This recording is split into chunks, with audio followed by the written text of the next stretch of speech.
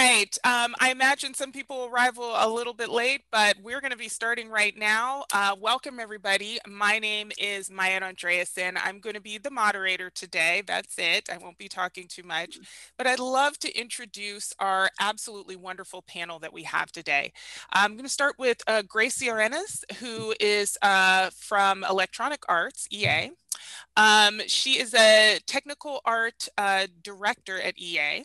Create um, at Electronic Arts. She oversees all technical aspects of art delivery for the Orlando based EA Sports portfolio. She's a 12 year veteran of the gaming industry and holds credits in AAA titles including Anthem, Star Wars The Old Republic, Madden, NFL, NBA Live, and Tiger Woods PGA Tour. She is passionate about leadership and career development, problem solving, programming, art tools, team building, and effective communication. As the first female university graduate in her family, she advocates for education and the value of women and minorities in tech. She's a global co-chair for EA Hispanic Latino Employee Resource Group, Somos EA, has volunteered with ACM SIGGRAPH for nearly two decades and is on the industry board for the Texas A&M Department of Visualization. She's originally from San Antonio, Texas. She holds a BS in Computer Science and MS in Visualization Sciences from Texas A&M University. Welcome, Gracie. Whoop, whoop. Thank you so much. Glad to be here. You're welcome. Uh, next, we have Lauren Brown. Lauren is currently a lead art outsource manager working at Zynga Games. She started her professional career in the animation industry, working on shows such as Archer on FX, before moving to Austin to break into the gaming industry. Lauren is also a professional illustrator, small business owner, and mother to two cats in a perfectly normal amount of plants. Welcome, Lauren. Uh, next, we have Mally Rust. Mally is a channel marketing specialist, spreadsheet geek, and passionate defender of the Oxford camera, Oxford comma. she works at Aspyr Media, and she started out her career in MMOs at Daybreak Games and KingsIsle Entertainment, and then shifted to publishing in her current role at Aspyr Media. Welcome, Mally. Hey. Uh, oh, sorry. Next, we have Elizabeth Benke. Elizabeth is an associate level design director at Zynga Boss Alien, working on Star Wars Hunters. She's been doing level design for 13 years on a wide variety of single player and multiplayer action games, including Bioshock Infinite, Doom, Mafia 3, and more. She's originally from Boston, which is wicked awesome, but moved to Austin seven years ago. hey, Elizabeth. Hello. Alicia Andrew it has been in the industry since 2005. Now, she spent the first half of her career working in indie studios based in Austin, Texas. And in 2014, she left the industry to create the company Game Worlds with the goal of changing the industry for the better by educating the next generation of developers. For eight years, Game Worlds has taught students from eight years old to 18 game development and connected them with the game industry. She worked hard to mentor hundreds of kids over the years. In 2020, she joined the team team at Proteus Games, which works closely with Big Fish as their art director. She continues her work with students and spends what free time she has climbing brightly colored rock walls and running very slowly. Welcome, Alicia. Hello. All right, so um, I want to get started with this uh, this panel by really kind of exploring what your journey was through the industry, and that's for all of the panelists. So um, who'd like to get started and let us know what your journey was first? Maybe Lauren? Lauren knew I was going to take smiling like, oh no, not me starting it out. Um, so yeah, my journey into the industry was uh, an interesting and unusual one. So I got my start. Um, you know, I've been drawing my whole life. I've always loved art, loved video games, loved uh, animation, and I went to college for illustration and animation uh, for my undergrad. And then deciding that I didn't, you know, get enough out of that experience, I decided to go to grad school uh, to Savannah College of Art and Design to get my uh, MFA in illustration. Uh, once I graduated, I was just doing freelance and trying to, you know, make ends meet without like really knowing what the industry was like or anything like that. But I was putting my portfolio out everywhere. And um, I was found one day in August by um, the uh, background director for uh, Floyd County Productions, which is the studio that makes Archer. And she reached out to me, had me do an art test. and you know, the, as they say, the rest was history. Um, so I worked at that studio for four years. I became a background director, and um, with my leadership experience, one of my friends had moved over to EA, and he was telling me all about how you know how amazing it was and how different the game industry was from animation. And so uh, I just decided that I had nothing to lose. I might as well apply. And when I applied, I realized then I was just like, oh, the process is moving forward. I think I have to leave Atlanta because at the time I was in Atlanta, and I was like, oh no, I don't want to leave Atlanta. But it was too late. I was already doing it. So um, I started working at EA as a lead environment artist, which was um, which was a very interesting transition between animation and games because it was much more technical, but a lot of the skills transferred over one to one. And um, and I found that that was um, you know it, it worked out pretty well, and I really enjoyed the work that I did there. Um, while I was at EA, I also, you know, like Gracie, um, I also worked for the ERGs as well and became uh, the co-lead for Beat, which is Black EA team um, and worked a lot with Gracie actually between Beat and Somos, and we all supported each other. And uh, so that was my first experience with working with employee resource groups, um, you know, specifically for um, our group in Austin. And uh, after four years, uh, you know, our team was kind of dissolving, and I wanted to make a change again. And one of my um, my previous reports moved over to Zynga, and he told me he was like, "Hey, I really like Zynga. This is a really cool place to be." And I was like, okay, like I might as well, I might as well apply. And he was like, yeah, we're also working on Harry Potter. I'm like, go on. and so I applied to Zynga and uh, ended up getting the job as a lead out, art outsource manager. And currently I'm working as the, uh, the acting associate art director as well. So, um, so that's been a great experience. And it's been almost a year now at Zynga. So, um, so overall, I've been in the industry for about 10 years now, which is crazy. but that's basically my journey into the industry. It was just, um, you know, a lot of just keeping my mind open to what could be out there and the different possibilities because my career did not go the way I thought it was originally going to go. Originally, I thought I was just going to be a character designer working for animation or a visual development artist, but um, but I like the way the path has been laid out for me, and, you know, just the way it worked out. So that's basically how I got into the industry. Fantastic, Lauren. Uh, thank you very much. Uh, Elizabeth, would you like to, to tell us uh, your journey to where you are right now? It's me, right? Not the other Elizabeth? Or is it the yes, other Yes, that is correct. No, okay, okay. I want to make sure. What, to not confuse it, just call me Beth.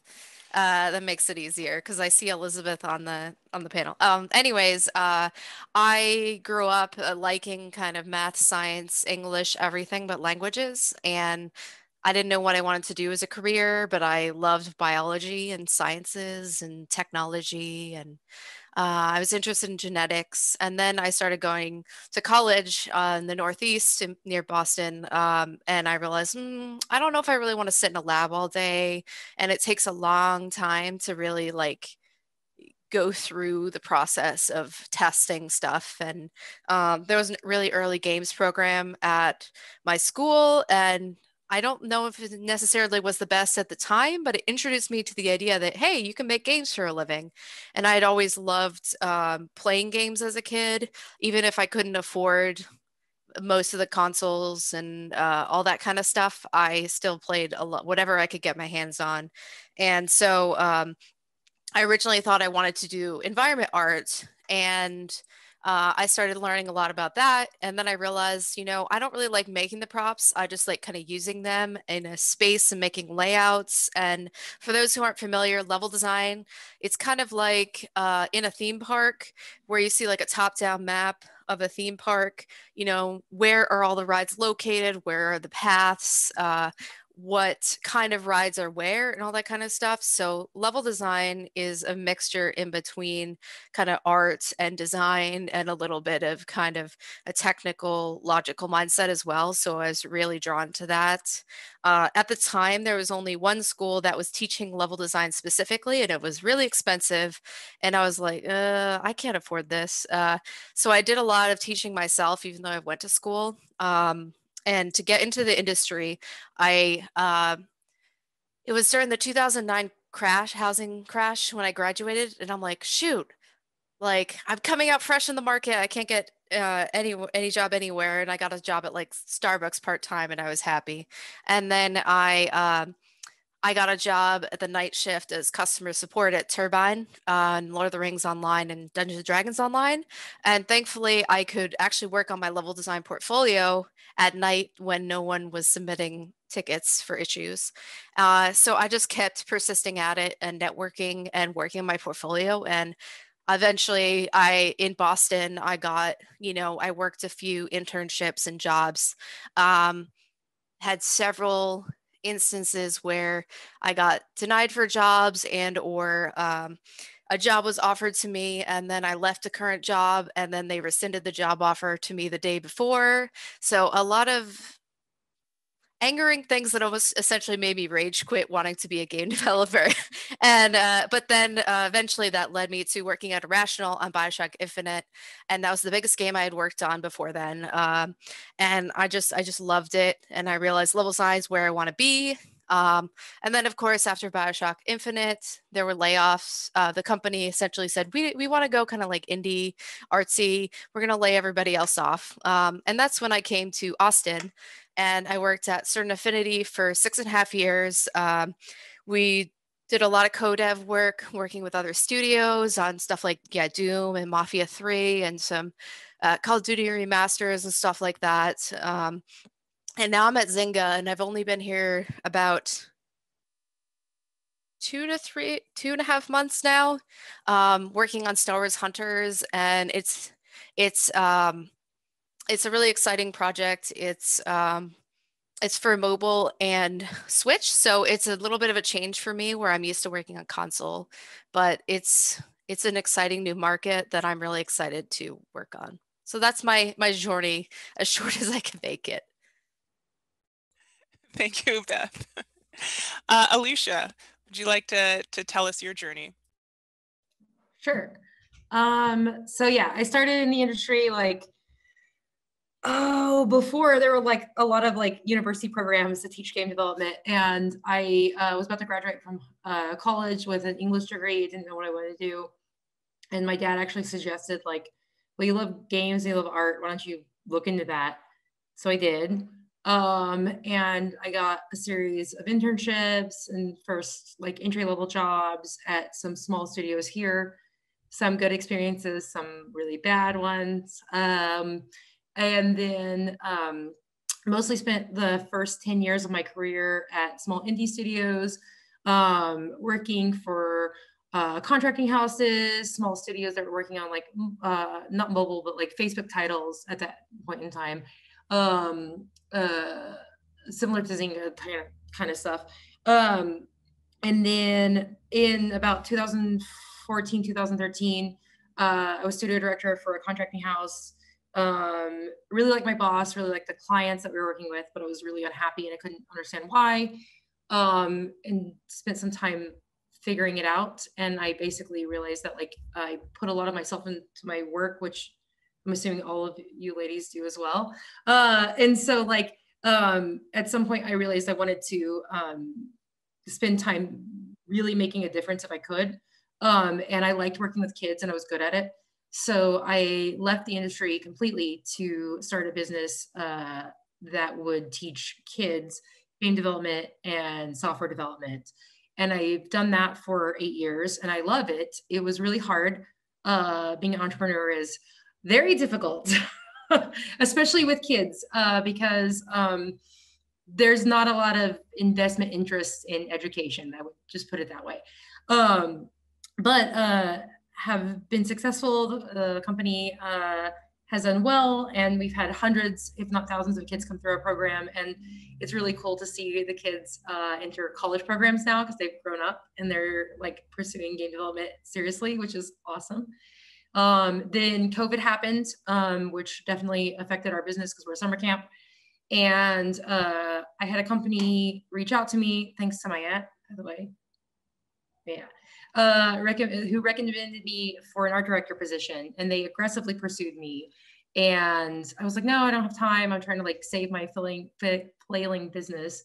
And uh, got through the summer, and they were like, we're still interested if you're still interested. And I was like, sure, let's see and uh, did some contract work for them and ended up accepting an offer with them in October. And it has been literally the best experience. Like the company works on mobile titles. I love the coworkers. I love my boss. It's a really healthy company. Uh, our publisher developer relationship is really healthy, uh, which uh, I know if you're starting out, like that seems like I'm just a crazy person saying this, but like having a really healthy work environment is so important. Uh, and I value it so much more now than I would have, you know, a decade ago. And so, um, and they're really supportive of the camp. That's one of the reasons why they pursued me is like, they really like that I was educating um, as like a focus. Uh, so I'm in a really good place with my career now. And I'm happy to like build cool little mobile games, which I'm excited about. Uh, and, and still running the camp. We're gonna try to do our summer camp in 2021. Uh, and I've missed the kids a lot. So uh, that basically like art director, mostly focused on business, entrepreneur, like all over the place. Uh, just trying to uh, do things that make me fulfilled, which is the goal. That's it. So I don't have anything else. Bye. Like, that's it. okay, thanks, Alicia. Uh, Gracie, uh, could you please share with us your journey? Yeah, sure. So I was kind of one of those those people who, you know, moms didn't want us to have the NES at home, so you'd look forward to, you know, sleepovers with friends where they did have the NES and you got to play um, duck hunt and whatnot, which was the best. Um, but you know, my mom finally came around when it was Super NES time, um, and I remember, you know, my brother and I are about two years apart, and uh, you know, the game that shipped with Super NES is Super Mario World, and of course needed a second player. So I kind of got looped in immediately um, to the whole idea of games, and we played a ton of the Super NES dual player games, which was a lot of fun. Um, incidentally, I own a classic now, which is so nostalgic. Um, but that was really kind of the first taste that I had of games, but I never really thought about that as a career for one reason or another. I didn't ever, that never crossed my mind. Um, and while I was growing up, it was kind of through that Disney Renaissance of the 90s. And so, you know, it was kind of the glamorous thing. It's like, oh, that would be so cool to work in, in something like that. And so, um, you know, I've, I've always gravitated um, to the art side of things. I, I, took art classes, you know, all throughout school, um, throughout 12th grade. Um, but around middle school time, um, I actually started doing some summer programs in like engineering and programming and computer science. And I found that I really actually enjoyed that part of it too. It was almost like solving puzzles. Um, and I really liked that aspect of it. Um, and so I found, you know, I really liked that part of it. I like math um, and I like the art. And so, you know, went through high school, you know, doing art and doing, you know, advanced math classes. Um, and really wasn't really sure what, what, what was going to happen with all of that. But I had heard about a graduate program at A&M. Um, at the time, it was just the master's program in visualization, and um, my art teacher's uh, son uh, was getting ready to graduate, and so he had come, you know, talked to the art class about what he did and showed some of the, you know, programs he was working in and stuff, and I was like, that's actually pretty cool. Um, and so, uh, kind of long story short, my college journey ended up being kind of interesting because I applied to art schools. I got into art schools, they were all out of state um, and out of state tuition art schools very astronomical.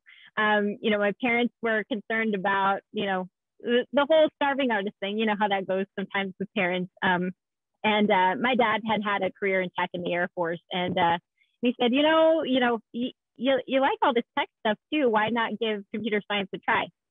And so i was a little bit begrudgingly was like okay yeah, I mean, you're right. It's fair. You know, I, I'm interested in it. Um, not as passionately as art, but you know, let's do it. And so I did in-state uh, at Texas A&M, did uh, the undergraduate computer science program, and uh, in order to just keep keep my uh, you know, keep my sanity because I was in a lot of like hardcore programming type stuff. I did art classes on the side, and you know, they they many of the classes that they had um, then are still offered today was like the figure drawing and painting. And then when I went home for the summer, I did community college classes that were art related as well, and we go to the local art studios and do figure drawing and all of that. So I kind of was able to keep it up alongside the uh, the computer science education. Um, and in order to get into the Viz program, you have to have the portfolio. So it was good motivation to kind of keep those two things going anyway. Um, and then as you know, as luck would have it, got into that master's program and I was like, okay, so now what? This is actually kind of cool because both of these things that I had been fighting to hold on for so long have actually come together in the, you know, in a program. And, um, you know, uh, the Viz Lab is really focused on, I mean, there's a lot of attention put on the, the film industry and getting into films. And so naturally, that's what I thought I was going to do.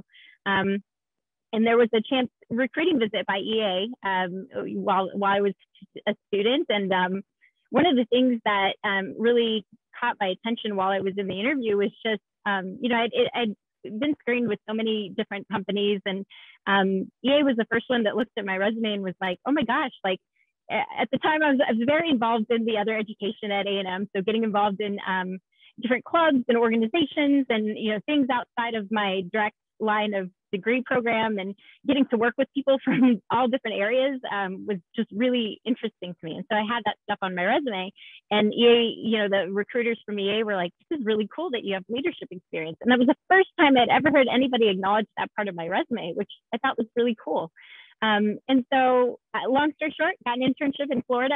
Um, super enjoyed the experience. I worked on a golf game, which to me, it was like golf game. That that can't be that interesting. It was totally fun. Um, worked on the team of five people. Was partnered up with a mentor who was phenomenal and just really supportive in the 12 weeks that I did that internship. And um, ultimately, when I went back to finish up my master's, um, you know, I, I actually had two offers in hand. I had one for the film industry and one for games. And I said, you know what? I know what I'm getting back into. I really love the team. Like, there's no question here. I got to go back to games. And so, kind of the rest is history from there. And I think a little, a nice little tidbit to kind of end on is that team that I started with about 12 years ago. Um, 80% of those people are still in the company today, and I still reach out to them. I still say hello. They, um, one of them I'm working with directly now again after circling back a couple couple different roles and coming back, getting to work with one of those uh, original colleagues. And um, I think that just really speaks volumes of the special people and bonds that I've been able to form in the company. That's absolutely fabulous. Thank you, Gracie. Mally, how about you tell us uh, what your journey was or uh, is? Uh, yeah. so. uh, so my sto- my journey starts with a funny story now that was not funny at the time at all. Um, so I, I graduated from UT Austin, but in order to graduate from UT Austin, you have to take an internship class where you have an internship and you go to seminars and you talk about your internship. And I had one lined up. It was a remote internship with a higher education like uh, thought leader and doing content marketing for her. And I was like, great, this is awesome. And I get a call from my professor and is like, yeah, so you know you can't have a remote internship and get credit for this course, right? and this is my last semester of college. So, uh, uh, no, I did not know that. And I panicked. And then I stopped panicking and said, okay, time to message everybody that I know on LinkedIn and see what I can make happen. So, a contact of a contact worked at Daybreak Games, which is now Dimensional Ink, uh, the office that I worked at. And they said, yeah, I guess we could probably use an intern. We can't pay you, but you know, if you need to graduate, we can help you out in a pinch. So I said, great, yeah, uh, let's do that. And so I ended up doing social media work for DC Universe Online there at Daybreak. And my supervisor was very clear with me. He was like, hey, think you're great uh, we just went through layoffs. Like one day at work, I walked in and people were crying. so uh, they were, he was like, "We don't have an entry level position open, and we're not going to pay you what you're worth. Uh, but let me reach out to people that I know." And a guy who'd worked at Daybreak was then working at KingsIsle, Got my resume in front of their hiring director, and I got an interview there as well. Uh, so that was my first gig. Uh, was working on Wizard101 and Pirate101, uh, and a couple of mobile games that were happening there. Um, did a lot of marketing work for them. And after about a year and a half, I got a contact request from a recruiter at Aspyr and they said, Hey, looks like you do some pretty cool stuff what if you did cool stuff at Aspyr? And I said, yeah, that sounds pretty dope because you guys work on The Sims 2 and Borderlands 2, and those are two of my favorite games of all time. So interviewed with them, and now my current gig is a channel marketing special- specialist, which is a very fancy way of saying I do email marketing, push notification marketing, uh, our launcher marketing, and then a whole bunch of random stuff and a lot of copywriting. So that's journey where I am right now. Fantastic. Uh, thank you very much, Mally. So I'm going to actually uh, take it, we're going to get more kind of into the nitty gritty actually, because this is a women in game development panel. So one of the, th the next question I'd actually like to ask is, how do you grow your career in an industry that doesn't always have women in leadership positions? And uh, I think I'd like to start actually with Gracie with that question. Yeah, um, I, I, can truly attest to. I mean, that question really resonates uh, with me because there is nobody in my direct line of work who has been ahead of me. That is a woman um, that does technical art direction. Um, and one of the things I found that was um, very crucial to just my success in the industry and ability to keep moving forward is to find um, very supportive male allies. Um, I would say probably about 80% of my mentors in, in my career have been male. Um, and you know, it's harder to come by the women, um, but the women that I have had as, as mentors have been phenomenal as well. Um, in my direct line of work, though, you know, it, it was it was males, and I found ones that you know were previous managers who were super supportive of my career. Um, you know, while I transitioned roles um, between sports and BioWare pretty early on, and I actually maintained communication with my manager throughout the entire seven years that I was at BioWare, um, to the point that when I returned to the organization two months ago, I'm actually working with him to transition into his role and he's moving on to a new role. So you never know how those relationships actually manifest and grow and develop you, but also prepare you, you know, for the next step as well. So really hold on to those relationships and look for people who are supportive of you, um, you know, regardless of gender, because I think that that is very, very crucial um, as part of the journey. Absolutely, absolutely. Alicia, what about yourself? Um, how did you kind of, you know, grow your career in an industry that doesn't always support uh, women? I left it for like eight years. That's what I did. Which is, I mean, okay. So honestly, what happened is, is like I was unhappy with the way that the industry treated myself and other people that I thought were really valuable. Uh, as employees or developers. And I didn't feel like there was an avenue to change it from within.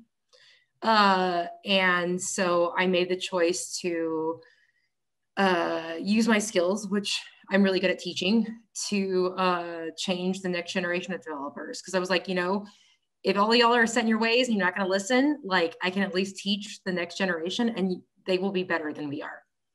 Uh, and so I made that choice. Uh, and that's one of the big motivators for why I started the company that I did.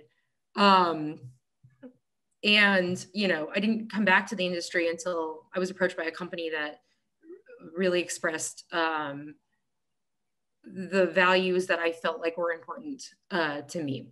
Um, and so uh, I value diversity. I value like, you know, trying new things and uh, valuing your uh, player base, uh, regardless of what the demographics are. Um, so those sorts of um, things uh, were important. Um, but yeah, so my my tactic for dealing with my career advancement was to hit my head against the wall for a really long time, then leave, try my own thing, learn a lot. Actually, learn a lot about development. I learned more um, teaching students than I did the entire 10 years that I was a developer beforehand. I learned more about design, more about programming, more about art. Like I just learned a lot by teaching. And then I came back as a more professional developer. Um, and I feel uh, like it was super valuable time. And also getting to see um, the next generation of developers like have a space, a safe space to grow into um, whatever they were wanting to be uh, was a really uh, was a privilege uh, that I still value. So um, that was my track. Is I like I abandoned ship and then came back eventually when, when when things solidified in a happier place. So uh, that's my yeah. It's your journey. it's a weird, like just a zigzag, like yeah, it's a lightning bolt. There you go. That's what it is. I think I think most life is, is a lightning bolt. I don't think there's any clear clear path. Um, Mally, what about yourself? Uh, how have you grown your career in an industry that doesn't always have women in leadership roles?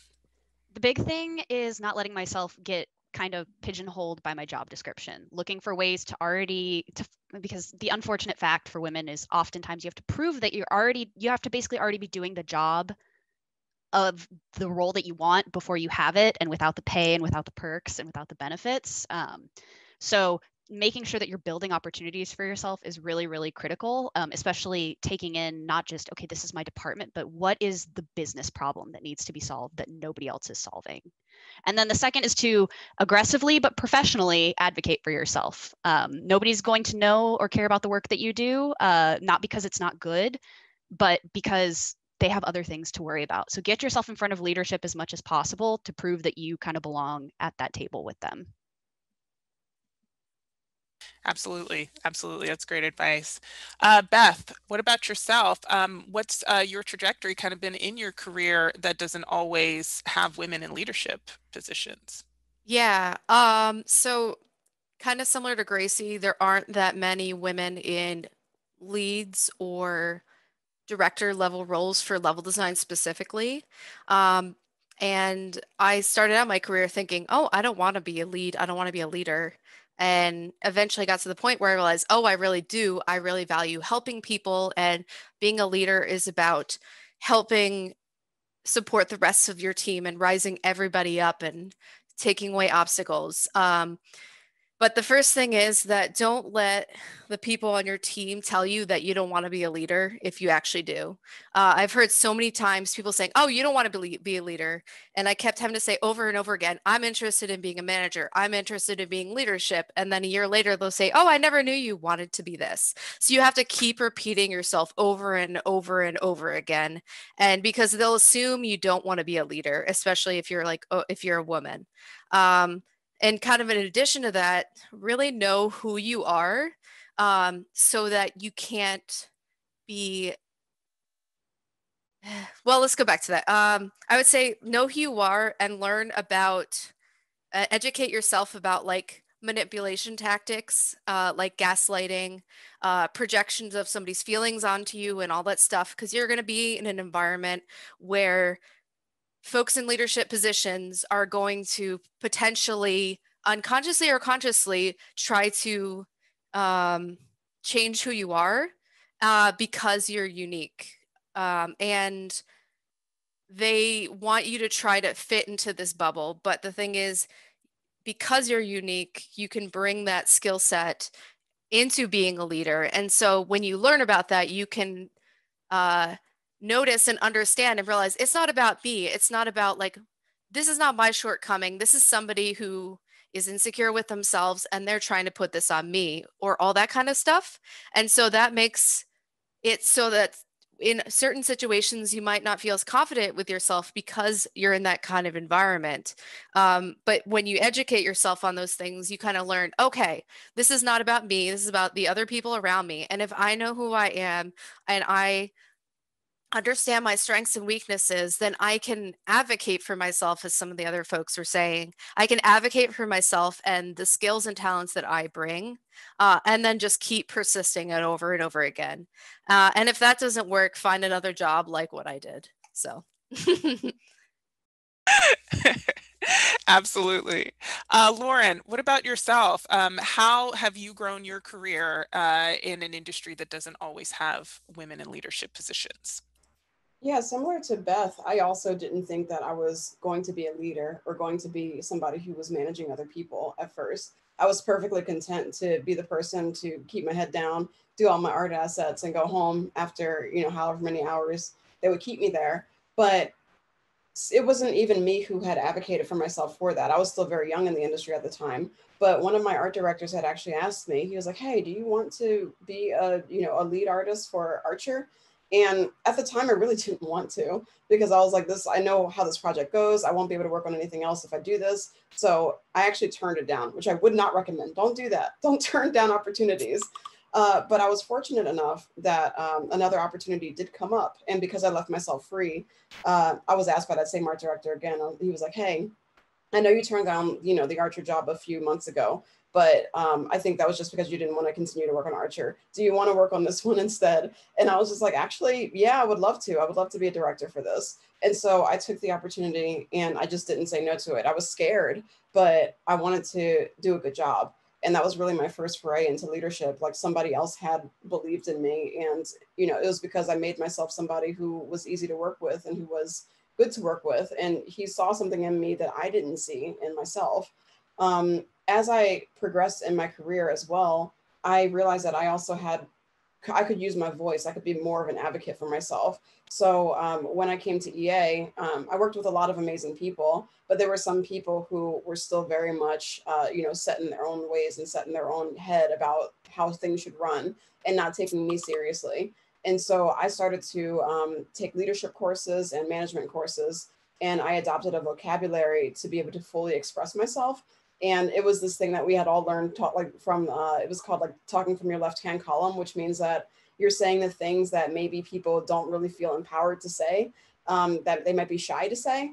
And so if i introduce any topic that was like hey i would like to speak with from my left hand column real quick it would get my manager used to the idea that i was going to say something that was maybe controversial not controversial but just like you know a pushback or a, a, a critique about what he was doing and that kind of like softened him up to receive that feedback. It opened him up to receive that feedback and i felt like that was a good way to kind of continue to advocate for myself and for my team more and more. Um, as i grew more confident in my career you know it still took a while to fight through all the imposter syndrome. I can often be my own worst enemy being a perfectionist and thinking i'm not good enough. But you know comparing myself to other people and you know thinking that i'm not doing a good job like i realize that over time it's usually just me thinking those things and it's not really the reality of the situation. And you know i'd be like oh like i did such a bad job. And then the next day i would get really positive feedback and i'm like oh like i, I was actually okay.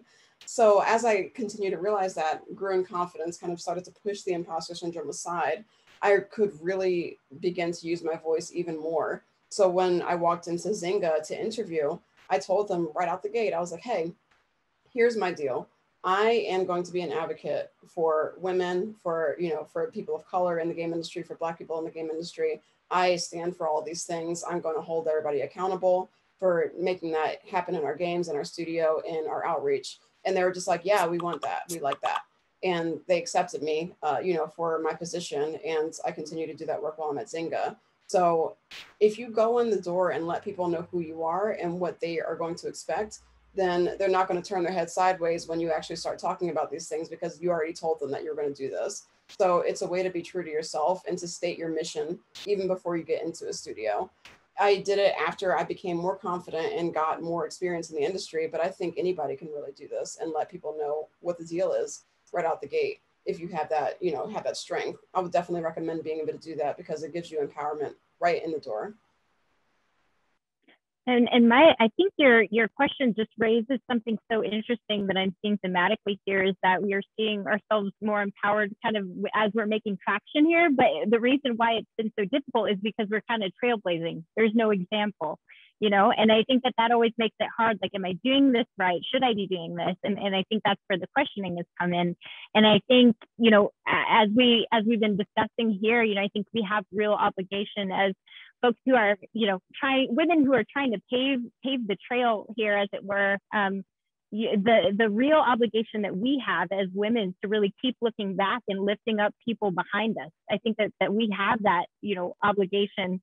Um, you know, being in the positions that we are because we are the ones that people are looking up to in the industry to you know to understand how do i get my own bearings and i think as we're paving this trail we need to be very cognizant of that too because we yes we're advocating for ourselves. We're doing these great things but we also need to remember to look behind us as well extend our hands uh, and pull up people behind us too. Yeah if you get the chance. Absolutely.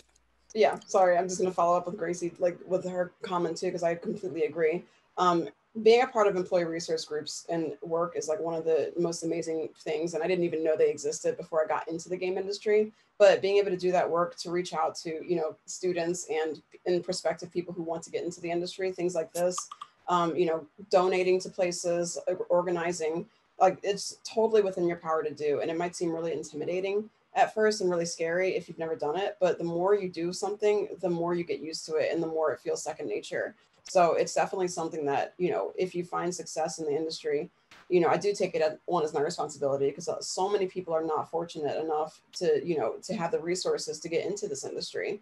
And I, you know, I want to do as much as I can to really provide that for people. And I think that people who have gotten to this position, we have the ability to do that as well. So I think it's really, really important. Thank you for yeah. bringing that up, Gracie. Yeah, and, and Mally touched on this too, this idea of kind of taking the reins on your career. Like ultimately, your career is up to you. You're the one that has to drive it. Um, and so really being cognizant of that fact as well and not, you know, not depending on other people to be opening doors for you. Really, you know, there's a little bit of fight in there that has to happen, but it's always being cognizant that your career is in your hands and, and you can do with it, you know, what, what you want. And, you know, there are decisions where you may have to move or pivot to get the things that you need or speak up to get what you need. Um, but I think those are all important things to keep in mind. Yeah, absolutely. Absolutely. I'm actually going to kind of uh, piggyback. A, a, number of you have mentioned having mentors before that have actually really helped you in your career to get where you are. So um, I think uh, a question a lot of the students would like to know is what would you recommend is the best way to find a mentor when starting out in the industry? And um, uh, I was about uh to say I can take this one first since I've it's a little it's pretty recent for me. Um, so one of the big things is don't lose touch with the people that you've worked with in the past. Um, my very first mentor was my manager at my internship. He helped me through the negotiation process at my first gig. Um, and then, you know, that was very, very helpful to me. The other thing is to go in, find people that you really admire or appreciate, and then form a real connection with them don't just ask them for something find things that you have in common. It can even be as simple as hey you graduated from where i did. How about the student union food? It hasn't gotten any better you know that kind of stuff. Um, but reaching out to them and going in with a plan because when you're trying to find a mentor you're asking somebody to give up their time and time is really really valuable. Um, so going in and knowing what you want to get out of the relationship with them and communicating that clearly is tremendously valuable. Um, and the other thing is I listened to a webinar once and they introduced this idea of not just finding a mentor, but building yourself a board of directors. This is a group of people that you trust at all levels, whether it's people that you admire who are further along in their career, or peers, or people below you whose input that you value and who you trust to talk through things that are important to you, like making a career move or vetting a company. Um, I found that really valuable for me personally. Um, and it can eliminate some of that stress of like oh i have to find a mentor right now like it has to be somebody super advanced and where i want to be because you can get a lot of value from the people where you're at right now. I actually go next because i have like suggestions. So one thing i would recommend that worked out really well for me is actually take time like regardless of where you are even if you're a student like you if you have a year of experience if you have a couple of years of experience like take time and teach people who are newer than you. Because just in the act of teaching you will learn so much. Like you will learn communication. You will learn your craft in a way that you won't uh, internalize it. Um, because for example just with art like you drawing something like that's great. You're drawing the same thing over and over again 40 hours a week. But having to actually like explain teach uh, share that knowledge with another person makes you understand it in a much deeper way. So, regardless of where you are in your career, whether you're starting out, whether you're a student, whether you've got 10 years, like the act of teaching and the act of mentoring itself is a huge benefit to you. And it also helps you and identify like what you need in a mentor, right? Do you need somebody to mentor you on like time management, you know, or do you need somebody to mentor you in um, a career track or how to prioritize or the skills that you need to get to that next level? Um, so I really recommend teaching as a way to mentor yourself. You know, um, when I started out, I was really nervous. Um, I'm a nervous person, you can tell. Uh, but like uh, I just ended up emailing and like contacting people that I admired and being like, "Hey, can I have some of your time?" And they were so gracious. Oh no, we've we Alicia has no. frozen. Um, don't you've, waste you've, time. On... Go ahead. You froze for a hot second. Damn it! Sorry, that was the best. Uh, darn it. Anyways, what I was gonna say is like, um, I don't know where I froze, but like teach is a big thing I would suggest. And the other thing is, is like reach out to people that you admire. And at the same time, you have worth. So if you reach out to somebody um, and they aren't willing to take the time, do not like pursue them. Do not waste time with that person. Like um, if you email somebody and they don't have time for you, they're not responding to you, go to somebody else. Um, because like uh, the people that I have benefited the most from are the people who recognize the value in taking time to teach me um, and then creating that relationship that was really beneficial to both of us. So like you get something by teaching, you get something by being a mentor, and you get something by being mentored too. So it's not a parasitic relationship. So don't don't treat it like something like that. Like um, uh, put your time into those people who are really enjoying sharing their knowledge and enjoy sharing um, their experience with you. Like spend time with those people. And if somebody comes in with an ego and it's just like, I don't have time to talk to you, like, like don't. Who cares? Like, go to somebody else. Like, uh, and then when you have the opportunity, really, I would suggest you to take that and teach people who are um, back uh, further along the path. So. I would also kind of add on to that. Um, I think um, it's great to to if you can find somebody in your field who is a part of the same underrepresented group as you if possible it is a huge burden on us to be able to mentor folks but we're more willing to do it instead of just for white men honestly like at least for myself. Um, but if you can't find somebody in your specific discipline that is a part of the same underrepresented group as you uh, you know look at similar disciplines i would say it's really valuable because for like for myself i've never had a level design female level designer as a mentor before because there aren't that many of us. Um, i've had some male ones but i do have a lot of female mentors or female communities um, because i'm part of a female under, underrepresented group obviously. Um, and they often will give you insight and mentorship in a way that men can't necessarily relate to or might give you the wrong advice. Like for example i've often been given advice by uh, by white men in my career saying, oh, just do it, just do it and apologize later, or just do this. And sometimes that works if you have a supportive team, but other times, as a woman at least, I can say that that doesn't always fly. So sometimes the advice that men might give you in a mentorship capacity might not 100% apply to you, depending on your situation and how you're perceived in the industry. So even if you're not, even if you you can't find somebody specifically in the same exact field as you, try to foster uh, relationships with people in the same underrepresented group. Also, just a shout out to Beth. She has been a huge supporter from like little kid camp, like since the beginning. She's come out and done lectures and been a guest judge. She has made time to like teach the little ones. So like you have been an amazing mentor to like so many kids, by the way. Like like thank you for that it, it uh, very much appreciated so well, I'm going to, uh, I think maybe we'll have time for two more questions to ask the panel, and then we'll open it up to questions from our audience. Uh, so the first question, I think this is a, a really great one. What do you feel is your greatest accomplishment to date?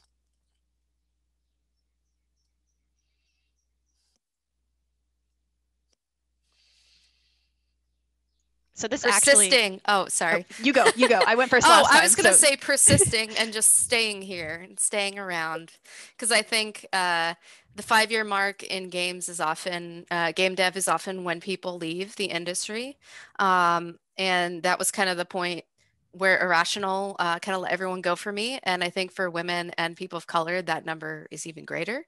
And so I feel like there's a lot of things that can discourage you in this industry. And so for myself, I think I've gone through a lot, gone through a lot personally, just like many people have, of course, but just sticking around and persisting and keep pushing through it, I think is my personal biggest accomplishment. Mally. Yeah, so mine is really recent. Um, we just that we're in like the tail end of a marketing campaign for Stubbs the Zombie, which is a game from 2005 about a zombie that farts and takes off his head and bowls down enemies. Uh, and you are kickstarting a zombie apocalypse. It's a super fun game. And I got to do a lot of really creative work on it. Um, I wrote the Fart book, which is our art book. Um, and I've also gotten to write some stuff in our collector's edition. And being able to bring such a fun campaign to life and to be able to put my name behind it is dope. And then I also got to put two streamers that I know personally on the front page of Twitch because we have a partnership with them. And so that was like ultimate chicken soup for the soul. I generated tens of thousands of dollars in, you know, equivalent ad spend. I think that's what we call it internally. And I got to put cool people in the front page of Twitch. So big accomplishment. Fantastic. Uh, Lauren, what about yourself? Um, yeah, this was was also fairly recent, but um, there was an initiative that when I first came onto Zynga, we had an avatar uh, or character create- creation system in our game, and uh, when we were revamping it, I introduced basically uh, the concept to them of like, hey, like we can make more diverse hair textures with a hair grading scale. That's something that I grew up with that a lot of people may not know about, where um, it's like a scale that measures hair texture from 1A to uh, 4C, which is straightest to curliest. And I was like, hey, like these avatar systems don't usually represent curlier hair textures and kinky hair textures. So let's go ahead and make sure that we're representing the full gamut of the spectrum. And so um, using that language, we were able to also come up with like, you know, ways to make uh, more inclusive facial features, you know, uh, in, eyes, nose, mouths, etc and just have like you know like much more diverse range of skin tones as well. And that ended up you know working out really well for the game and it was really exciting to be able to do that and to represent our players in a really positive way. And it was actually like a it was a feature in apple which was super cool.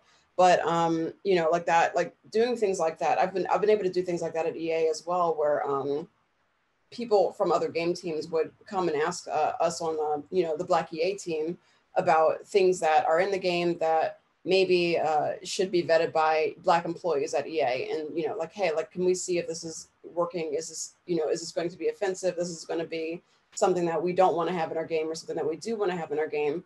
And being able to consult and you know let let them know like you know the other game devs know like hey this is not going to work or this this is a probably a better approach is really rewarding because then it shows our players that there are people who look like them who are helping make these decisions for our game so that we can make sure to represent our players in the best light as possible. So that's been really, really uh, a rewarding part to work in the game industry and actually seeing the results of that and people engaging with that content is really, really cool. Um, you know, as well as like all the other outreach and, you know, advocacy that I've done for for other schools and everything just to uplift students and and people that are around the industry that really want to get in and actually seeing their successes like those things are just you know that's one of the most rewarding things about working in the game industry for sure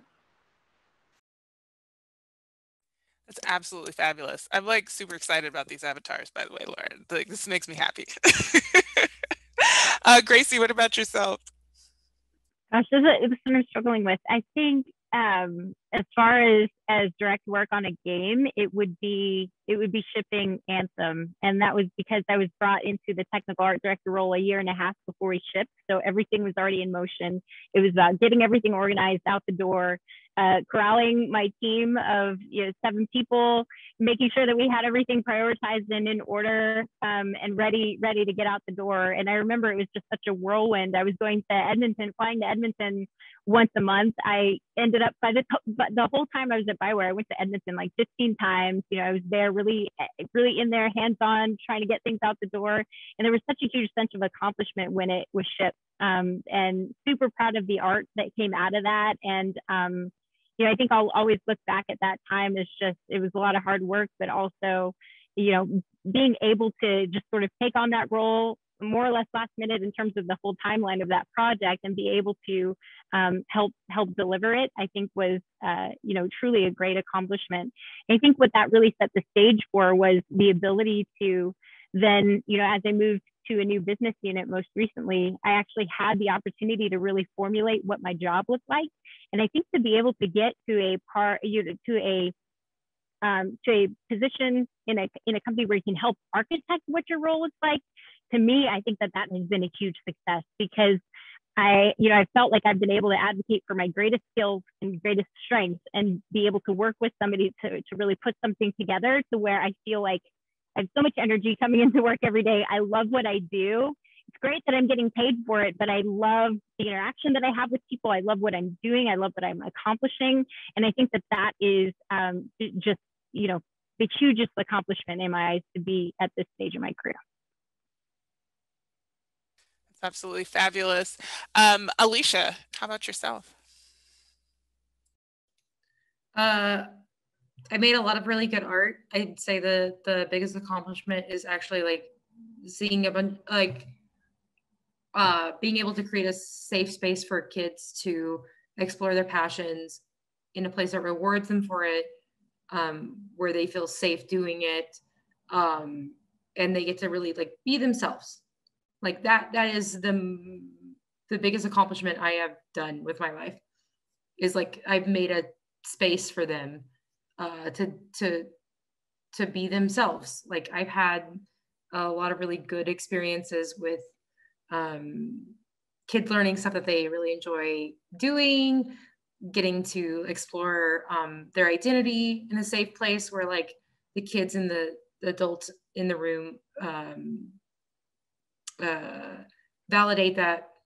And uh, I feel like uh, that's what I was meant to do if I was gonna like get all poetic, you know. So it's important to me, and I love making games, and I still love it like as passionately as I did when I started. But um, working with the kids is something uh, different. It's uh, uh, it's uh, more meaningful to me. So yeah. I've worked at Game World Summer Camp, and I can uh, vouch for what Alicia's saying. It's super fun, and the kids are like just really amazing. Uh, Beth. Also, they make badass games, by the way. Like, I just have to say, like, the kids have a week to make a whole damn game. They do. And they do the art, the code, design, audio, everything. And then they pitch it in a business like presentation. And they work their little butts off and they do an amazing job. And it makes me as a developer feel super lazy, like so lazy. And like, there's no excuse for like the quality of work I produced in the space of a week.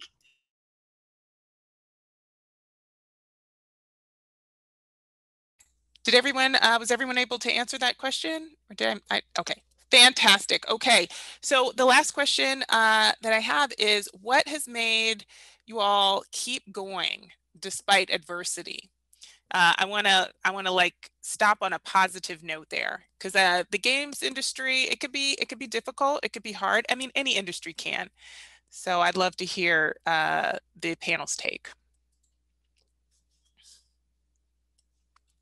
And let's start with Lauren. She knew I was going to ask her. I knew it. I knew it. Um, yeah. You're right below me in, in Zoom. I'm just right. I'm a target. This is great. no, I I really think that the game industry has been, you know, despite all the, the shortcomings and setbacks and the challenges that, you know, I faced and I'm sure a lot of people have faced, it is really just a fantastic opportunity to actually create something that you then know that people, you know, may, possibly millions of people are going to be able to see and play and engage with. And being able to have a positive impact on what they're engaging with is really important to me. And I think it's really the most rewarding thing about it. Um, but in addition to that, like once you find a great team to work with, it's really hard to ever want to leave that because it's so hard to find a great manager, a great team, just like a really positive group of people. And being able to work with people who are nerds like you and share memes like you and just laugh and just chat and you become friends with them. It's you know there's there's nothing like it. And um and i found this rewarding in both games and animation where you just meet so many amazing people and you know you get to participate in things like this where you get to share your insights and meet new people even from this. And you know it's just been i think it's just been a great experience and i feel really overall uh, fortunate to be able to be a part of it and to be able to be a rare face in this industry because you know, even still, like I, I don't work alongside any other game devs who look like me. And, um, you know, it's been really rare. So, but I'm happy to be a representative, at least for, you know, Black women in games and to be able to say, hey, we are out here and this is a space that's for us too. And to be able to spread that message is something that I'm going to continue to do until my last breath because I really, really want to see other people who look like me in the industry and for them to know and feel confident that they are allowed the space to work here too and that they are more than you know welcome to take it up because we need more of our voices. So that's why i stay in the industry. Thank you lauren. Uh, beth what about yourself? Uh, sorry i'm tearing up a little bit. Uh, um, i think the games industry is a huge massive influential medium right now and um, media is a part of our culture and we have such an influence on our culture that we can change things for the better. And i know that it's very frustrating especially those of us who've been here a while where the industry can be very toxic at times and the fan base can be very toxic at times. But we can also help be a part of the change to push back and say, no, we won't accept this abuse from players or from other developers. And we can help push things for the better. And I'm always surprised whenever I advocate for things, all the people behind the scenes who are like, thank you for saying something because I felt like I didn't need to. Uh, oh, not I didn't need to. I felt like I couldn't. And I think once you get the boldness of knowing that you're unique and that you're just going to be unique no matter what, you embrace it and you, you can just push for things and help make things better for everybody and help um, make games that have more representation of what people look like in the world and what people experience in life. Um, and also, kind of going on what Lauren says, the feeling of collaborating with people where you're all working together on a shared goal and brainstorming together and you're all getting excited and hyped up about something and you're like yeah let's do it woo! is like the best feeling in the world and that's one of the reasons why i've stayed around so long. Gracie would you like to share with us uh, despite any like ad- adversity what what's kept you going in in the industry?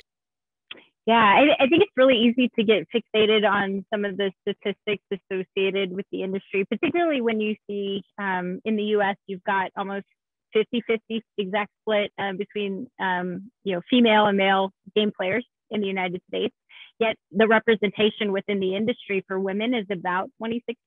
Um, so we, there's still a long way to go as far as um, more representation um, in the games industry.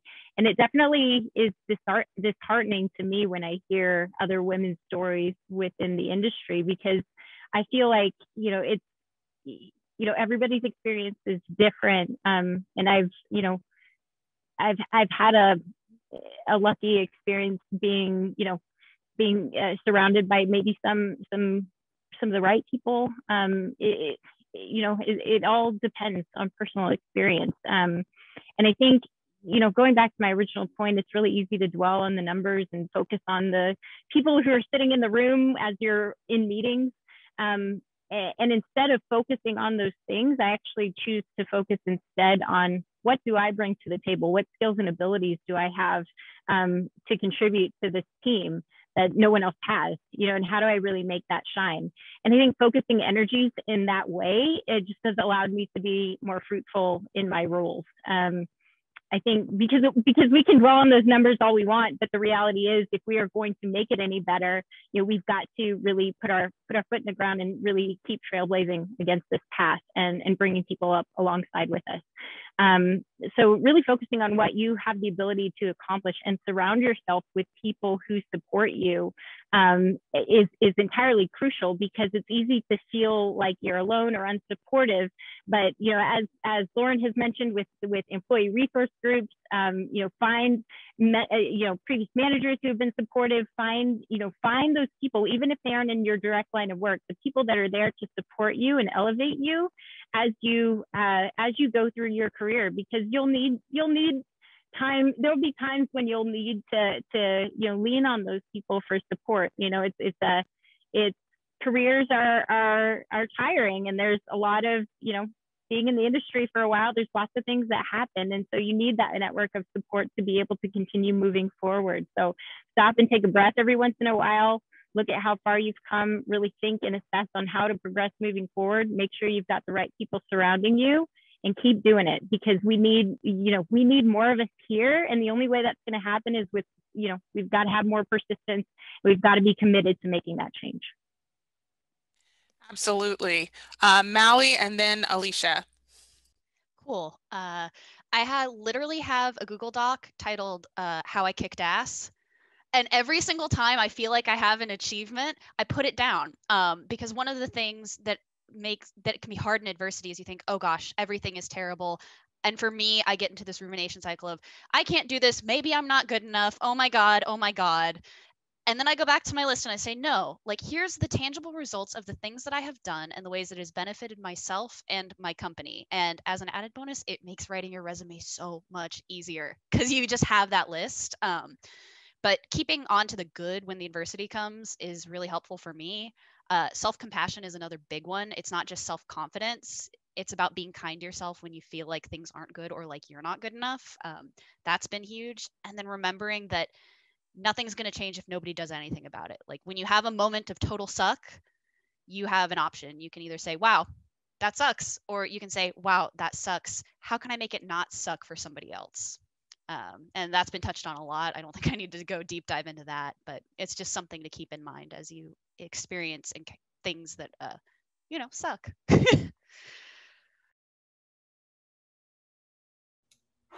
so uh, the question was like, how we sustained? How we've we been in the industry? Yeah.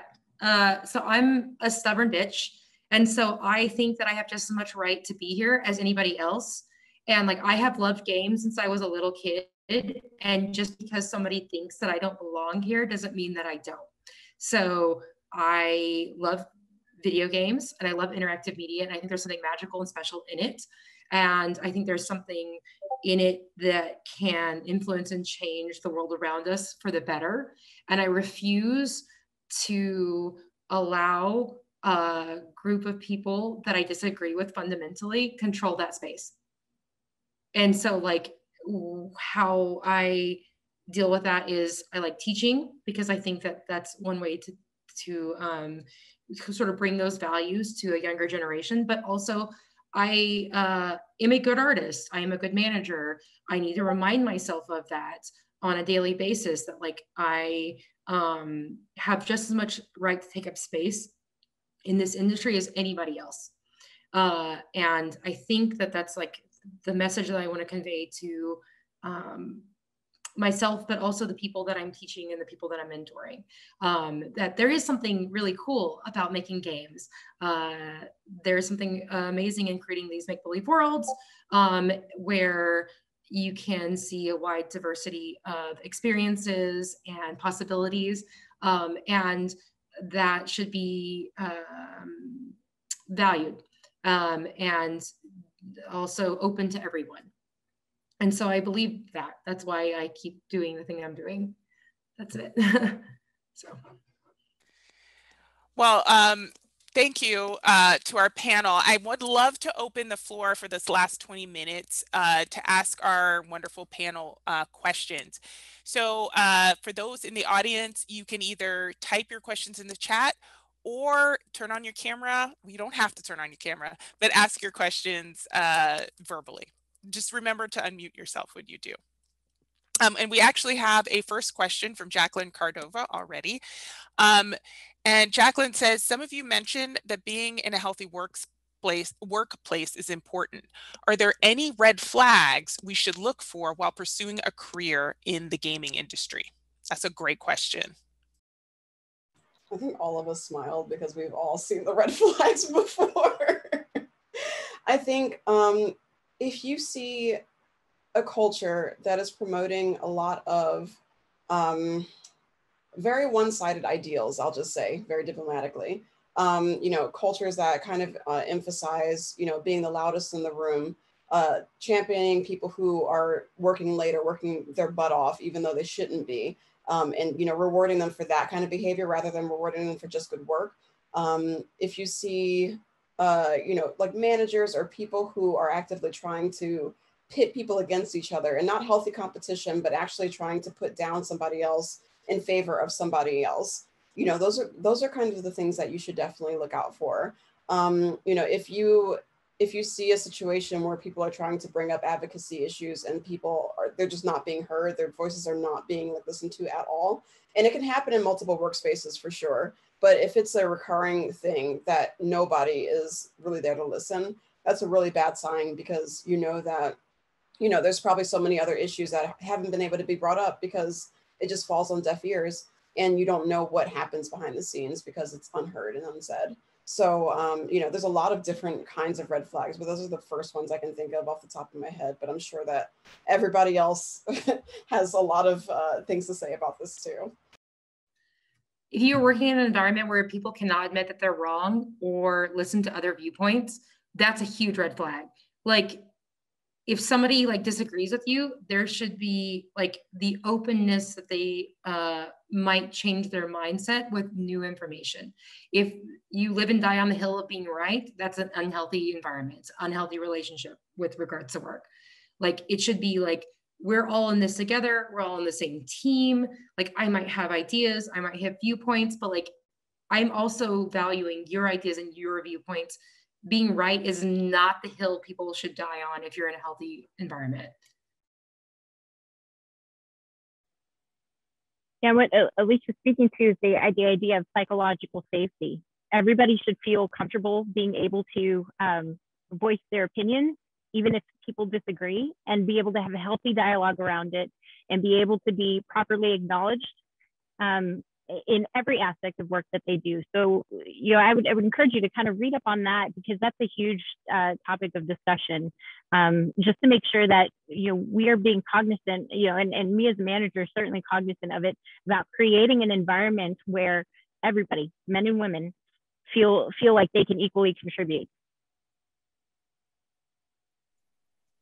One of the Absolutely. common red flags also that I see in job descriptions is work hard, play hard. We're a family. Uh, I don't know uh, if other people I know have like really great family experiences, but if a company is framing it as a family, oftentimes, not always, sometimes there really just genuinely is a very loving and caring and supportive environment. Um, but it means that you will probably be forming a lot of close relationships that will make it difficult to have difficult conversations. And you may be a family because you work 12 hours a day and you don't see your family anymore. Um, so, really being aware and asking questions about, hey, what does work life balance actually look like here? And are we able to separate ourselves as professionals? Like, that is a big thing for for healthy workplaces.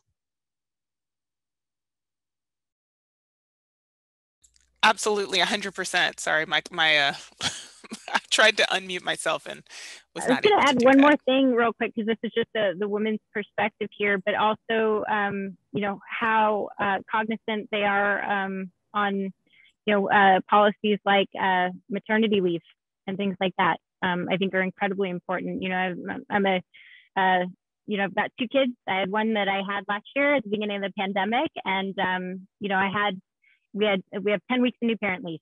Fan, fantastic, phenomenal. I was able to have, you know, my my kid here for work from home for a whole year before he went to daycare. So really look at um, those types of policies that the company sets forward and how they view them, um, because I think it's also important to take into account, um, you know, women's issues as well. Regardless of whether or not you want to have kids, or like uh, whether you're male, female, or whatever, like maternity leave policies will indicate to you the studio's uh, commitment to your work life balance. So, like, even if you're like, oh, I'm never gonna have kids, like, if they don't have a robust maternity leave, that's saying something about like the studio's values regarding their employees. To kind of add to Alicia's earlier point about, I think it was Alicia that said that about creating an environment of, as Gracie said, psychological safety, um, where people feel comfortable um, admitting they're wrong. Uh, something that I like to do in interview loops when I'm either being interviewed at a company and trying to decide if I want to work there or if I'm interviewing somebody else for my company is to find a place where I could disagree with somebody. And I say, you know, uh, I see where you're going here, but I think this, you know, isn't right. Or, you know, try try to push back a little bit and see how they respond because I think especially as women, some men don't feel comfortable with women disagreeing with them unfortunately. And so making sure you're going into an environment where you feel comfortable bringing up problems whether they're like professional problems, you know, like oh, hey, I don't think we have enough time to get this work done, or I'm concerned with the way we're representing this character, you know, or I need to, as a designer, I need to advocate for the design side of things. There's always going to be people disagreeing with each other. And so if you're interviewing somewhere and you find that the people who you're talking to, the way that they respond is not in a collaborative way, but in a defensive way or a way that's where they got really angry and upset and they pushed back against you when your disagreement was completely calm and reasonable. That's also a sign early on that you can tell wh- whether that's going to be a, a psychological safety environment before you actually start the job. That is really good advice. That's actually an excellent excellent way to get uh, see a red flag um, does anyone else have a question? Remember, you can uh, type it in the chat or you can ask it verbally.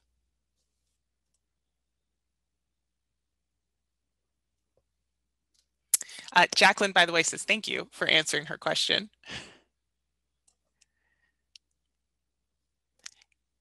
And if nobody else has a question, I actually uh, do have a question.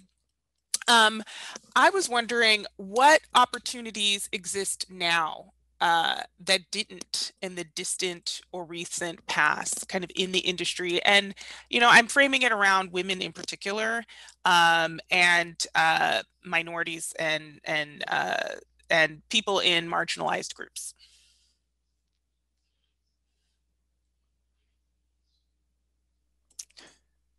Think one of the big opportunities is that we're talking about things. It's not just a sweep it under the rug. Oh, yeah, thank you for escalating that to HR. And then you just disappear into the black hole of whatever ticketing system they use. Like, as companies are starting to discuss it openly, as an industry, we're starting to discuss it openly. And, you know, dialogue is the first step to action. So I would say that that's been a big opportunity that didn't necessarily exist in the past. And that's how you can tell a healthier workplace is if they don't put it in the queue because I've definitely experienced that.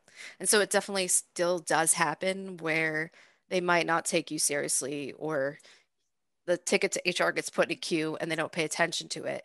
But there's a lot more companies that are actively trying to get better at that. I will say this is not specifically related to um, uh, in, in the, sorry, any individual group with games, but just in general, like game education is way, way more accessible now than it was when I started and a bunch of us started.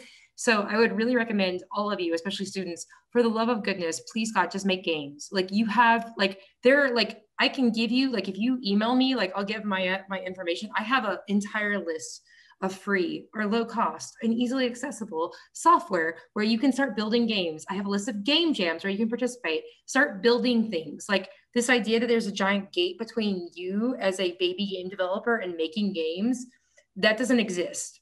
So start building stuff now because what I always mentor, like especially my older students, is um, that's great. You can go to school, you need that foundational skill, but you also need to be building stuff and, sh- and, like because one it'll teach you what you're interested in and teach you what you're excited about and what you love doing. Um, and you have that opportunity. So you should be building games. And like yeah the first few games that you build are going to be ugly and broken and sad pieces of crap. And that's fine. Like that's just a learning experience. But like please, please, please, please, if I can emphasize anything, like just start building stuff now because the tools exist. They didn't exist 10 years ago. And you have such a library, such a wealth of resources available to you, regardless of which field you're interested in in development. There's so much learning that you can do, and you should be doing it now because it's extremely competitive. Um, it's extremely competitive. Like if you have one job opening, hundreds of people are applying for that and they are talented and obviously they have like some connections because they're like even being seen. So please please please like start building stuff now. There's not a like magical like gate that opens because somebody gave you permission to start building games. Like sorry like a little bit of like a leeway but important. I'll die on this hill so you know. I would say two kind Gracie. of the Oh, sorry. Go ahead, Lauren. Oh, well, all right.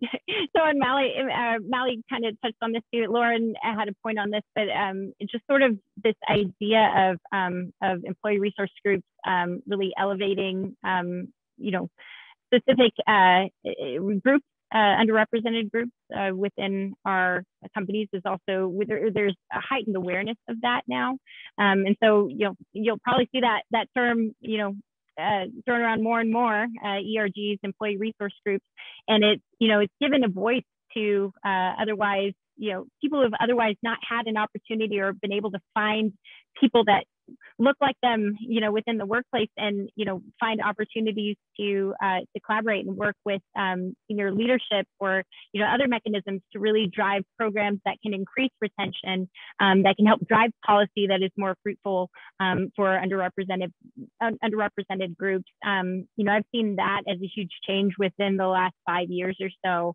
Um, and that wasn't, that wasn't in the industry when I started. So it's really great to see the community that's building around um, those affinity groups um, that's really helped driving those discussions and uh, making it a, a relevant topic for us to continue driving forward today. Yeah, we have, um, I know Lauren was uh, going to answer, and actually maybe you could segue into this last question that we have from students because um, we only have a few minutes left. Um, so uh, Amy asked, I've heard some people say diversity in gaming doesn't matter because at the end of the day, all that matters is how well you play as well is how well you play. I personally don't believe this. How would you respond to this?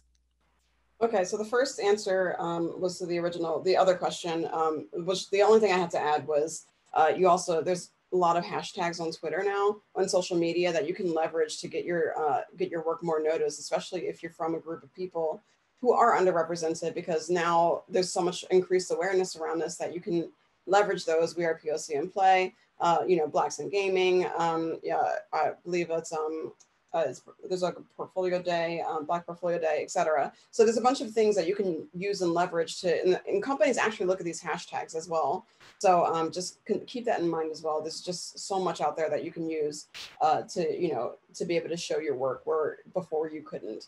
But to the second question, um, you know, I know that you personally don't believe this, so I'm just, I feel comfortable with saying it, but that is such a small-minded view on what games actually mean to people because it's not about how well you play. It's not actually, it's like mostly not how, like that, you're thinking about competitive games, you're thinking about, you know, stuff like if you're an esports professional, like that's, that is the only thing that matters of like how well you play, like maybe, like mainly. Also, your persona matters too. But for games as an overall experience, that is not the only thing that matters. You have the story, you have the gameplay, you have the art, you have the characters, you have so much that immerses a person in the experience of playing a game. And when you see over and over again people who don't look like you and people who don't represent where you come from or don't seem to understand you, it begins to feel very exclusive. And when you actually start to see more inclusion, more diversity, and you're like, oh, wow, like this character actually has very similar experience to mine. It's a very, very personal thing for different people to actually see that you know, like even this is a silly example, but even when I was, I'm a, I've been a Pokemon player since Pokemon first came out. When Pokemon first was releasing darker skin options for my main character, that like blew me away. I couldn't believe it. I was like, they've like Nintendo finally saw me. Like that's what it felt like. It was a very, very personal experience. And I feel like that's that plays into so much about what we want to give our players when we're creating games. Um, you, we really want to make them feel seen. And I feel like only narrowing down the experience of gaming to how well you play is just the smallest thing you could do. If I could add on to that, I know you I saw I said so wrong immediately in the chat. It just makes me so mad when I see stuff like that because it's so wrong, both on a um, personal, uh, societal standpoint and also from a business standpoint. So, uh, from a business standpoint, you know, um, the more people you can reach and the broader audience you can create, the more people who are going to be playing your games and um, the more people feel connected to the games and are able to play characters that look like them, the more they're going to stay for longer. Um, and that's a great business decision because I'm thinking about the fact that, like, you know, I've I work and also play in a genre that is traditionally considered male dominated even more than the others. So you know first person shooters or third person shooters especially multiplayer games and people are like oh there's no women in this field. There's no reason to create female characters. Um, and then like fortnite and apex legends uh, started creating more inclusive characters and they also started creating them on mobile and other more accessible devices. And i think it was in 2018 or 2019 they found that uh, more than half of the mobile players in Fortnite were actually teenage girls. And so that's like a huge new market. Uh, and because of that, is that for example, Fortnite is able to provide a whole bunch of different types of characters and ways for people to express themselves and accessibility. Um, and it's not just how you play, but it's who you play as. And I think that's something I'm not to not to like toot my own horn or whatever, but the game that I just joined, they're trying to do the same thing as well, is trying to create characters uh, in the Star Wars universe that are a wide swath of the people there to, in order to connect with people.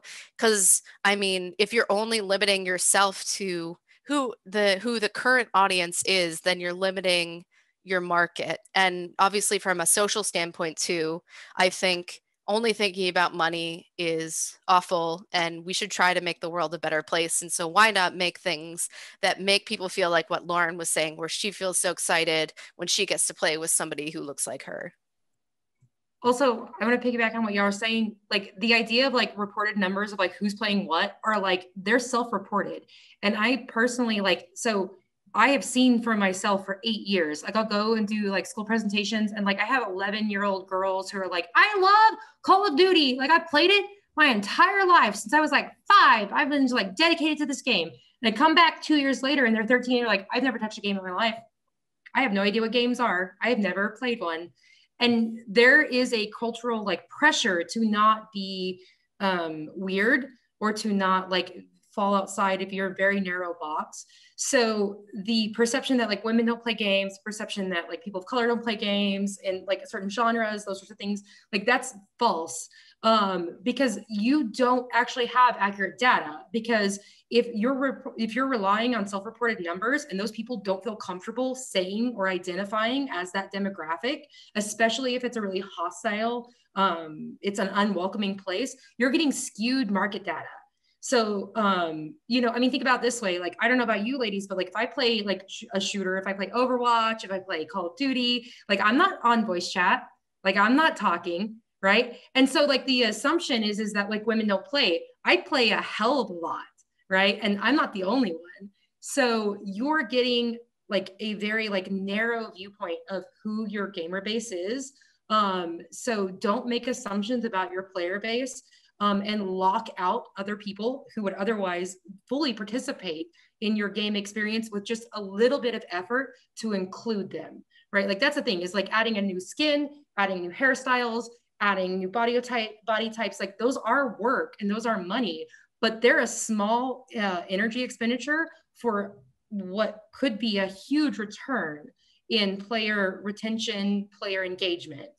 So yeah, and one thing to add on that, it's got to be done the right way too, as well, because you can add those types of things in, but if they're not done with the right insight, um, you know, from from people who are part of that community, often it can backfire. Um, so really being cognizant of bringing in the right people to sort of vet, you know, vet those additions to make sure that they are accurately reflecting the culture, you know, and, and we've seen some examples at my own company where you bring in people from employee resource groups or whatever to make sure that that content is truly accurate and representative of the community that is being represented. That's why it's hugely important to have diverse voices on your development mm-hmm. team, so you aren't exactly. just like navel gazing. Because like I have a I have a ton of bias, I have a ton of blind spots. Like talking to somebody who does not have my same lived experiences is insanely invaluable. Like we need, or is insanely valuable. Like we need to like like value uh, put an emphasis on uh, making effort to like incorporate that into our development process. Well, um, I have to say that this has been an absolutely fabulous panel, and I want to thank all of our panelists for taking the time today to come and speak to our students. Um, uh, this is being recorded, so I will send an email out to everyone once it is up, uh, the video's done and up uh, on YouTube. And I do want to mention to everyone, if you haven't been in the chat, uh, that our wonderful panel has put their contact information and their portfolio links in the chat. Remember Zoom, you can't go back and get that stuff once you leave Zoom. So I highly recommend you go and get that information now before you leave today. And um, just uh, one other thing, just thank you so much. Thank you for putting this together. This was super fun. And I know it's a lot of work to schedule, like we're like de- like scheduling developers is like herding cats. it's awful. Uh, so I have to say thank you very much for all of your efforts, Maya, to get all of this set and like coordinating the students. It was super fun. It's uh, well worth the time. Yeah, Thank thank you. you so much, Maya. You're And thank you welcome. everybody for attending and you know listening to us talk. Yeah. Is there a way we can send our contact info out after this? Yeah, actually, um, if if you don't, if you all don't mind me sending your contact information, and also if you have a specific email that you'd like for me to send to the students, I have all the students who uh, registered and signed up for this, and so I can I can send your emails out. And also, we have a couple uh, faculty members here who invited a few other students that weren't on the initial registration, and so they can they can get the rest of that contact information out to those students who joined. Also, this is really cool to see all of you fellow lady developers. Like I like it's admire y'all. Like this is so cool. Like I just sitting here listening to y'all going, this is amazing. Like I'm gonna just Likewise. Like, hell yeah, we're here. Deal with it. we out here. yeah I, I know we're almost out of time but like even a year ago in the program i was like one of like five women in our studio in hadil's studio and um, this semester it's it's blown up like there's like 30 students instead of like only like 14 um, and my team this semester is all women which is just crazy because i i there was never even that many people to begin with. So it's neat to see more people like me, I guess, you know. That's awesome. It is Y'all- awesome. Y'all should email us. Like if we're giving Yeah, you please. our email, we're serious. Like we're like, if somebody gives you their email and it's like, feel free to contact me, freaking contact us. Like that's why we're giving it to you. Like, You have my permission to ask me to review your resume. I love doing that. It, it gives me so much satisfaction. So please, please do. Any artists out there? Uh, I'm happy to look at your portfolio. Love looking at people's if portfolio. y'all want resources to like just start building stuff, like I have a, a I have a library and I will devote time. Like I will talk your ear off about all sorts of stuff. Like so. All right, y'all. Um, I am going to sign us off now. Thank you so much for our panel, and everybody have a fabulous, fabulous day. Thank you. Bye. Bye. Bye.